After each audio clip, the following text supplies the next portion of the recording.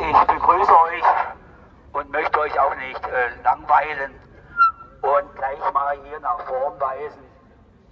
Wer Politik und Medien noch vertraut, den hat man das Gehirn geklaut.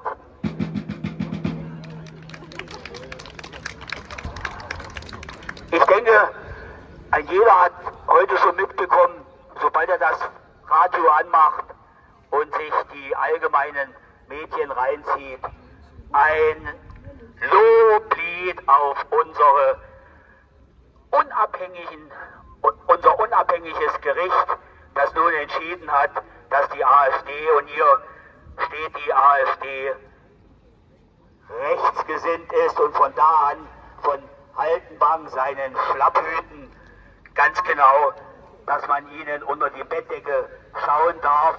Und Cäsar ist so überglücklich, dass nun ein unabhängiges Gericht, ich denke, haben wir in Deutschland abhängige Gerichte. Warum sagt man das? Weil ganz einfach unsere Gerichte nicht mehr unabhängig sind, sondern durchdrungen von links, grün. Denn das, was damals in den 60er Jahren gesagt worden ist, wir müssen die Institutionen durchwandern, damit zum Schluss das rauskommt, wo wir jetzt hier stehen. Und vor 75 Jahren ist das Grundgesetz in die Welt getragen worden. Und Karl Jasper hat wenige Jahre später, in den 60er Jahren, Karl Jasper, ein Philosoph, einen Beitrag gebracht, wo er sehr äh, ja, auch angefeindet worden ist. Wohin treibt die BRD? Und da schreibt Jaspers Anfang der 60er Jahre der Bevölkerung der Bundesrepublik geht es wirtschaftlich so gut wie noch nie, mit Ausnahme der schlecht weggekommenen, von denen man selten spricht. Es herrscht eine Zufriedenheit im Eifer des Lebensgenusses bei ständig geringerer werdender Arbeitszeit und Vermehrung der Konsumgüter, der Reisemöglichkeiten und Vergnügen. Trotzdem gibt es eine Unruhe. Ist dies Leben auch sicher? Man fürchtet, die Denkenden sehen die politische Faktizität mit Sorgen. Wohin treiben wir? Die Demokratie der Bundesrepublik wandelt sich vor unseren Augen. Wenige Jahre nach dem Krieg, wenige Jahre nachdem das Grundgesetz ins Leben gerufen worden ist. Es werden Wege beschritten, an deren Ende es weder eine Demokratie noch einen freien Bürger geben würde. Vielleicht ohne, dass die, die sie kennen, dieses Ende wollen.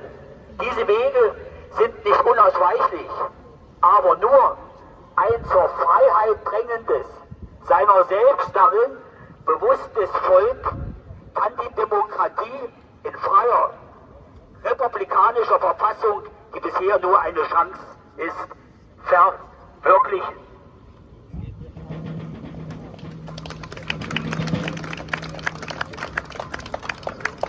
Und Jahre später, damals war es noch möglich, 2017, stand wohl im Spiegel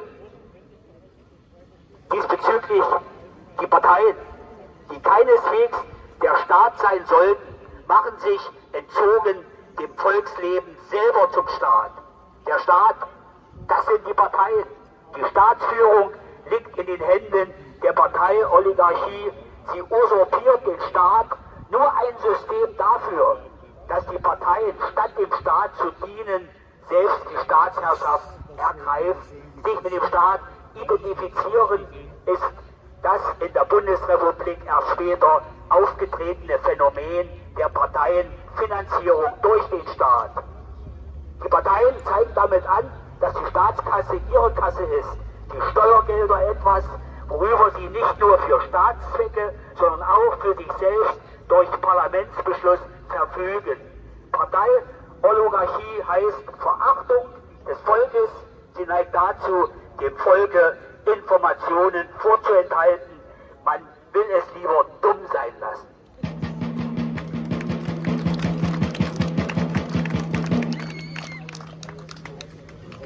Ja, noch eins, was haben wir eigentlich gegen rechts? Da habe ich ein wunderschönes Zitat gefunden. Rechte streben vielmehr nach Selbstbehauptung, um die eigene persönliche und ethnische Identität zu wahren in einer manchmal chaotisch scheinenden Welt zu bestehen, die eigenen Angehörigen zu schützen und eine generationsübergreifende Identifikation und Solidarität zu ermöglichen. Im rechten Weltbild geht es um Liebe zur Heimat, zum eigenen Volk und Vaterland, zur Muttersprache und Mundart, um Respekt vor historisch Geworbenem in seiner Mannigfaltigkeit, um staunende Zuwendung zu allem Schönen, Harmonischen und Geordneten und um die Wertschätzung der Vielfalt von Kulturen und Völkern. Zitat Ende. Ja.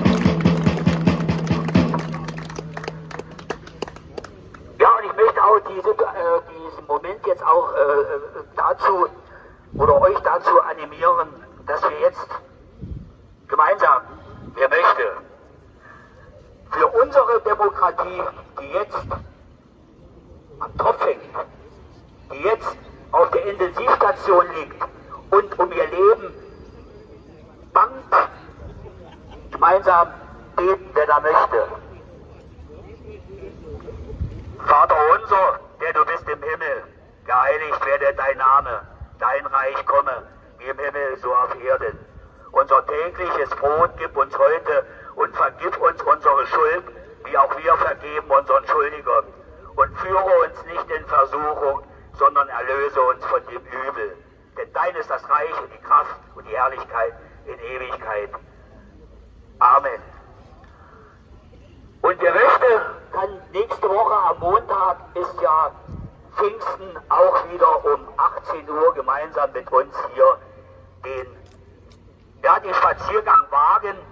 Und wir sollten uns daran erinnern, dass zu Pfingsten oben die Stimmen kamen, die sich herabsenkten auf die Häupter von Jesus Jünger und sie in dem Moment wussten, dass sie auf den rechten Weg sind.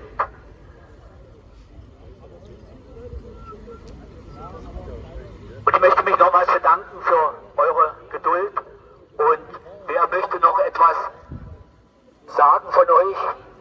Ansonsten können wir jetzt weitergehen und möchte euch viel Kraft wünschen. Danke.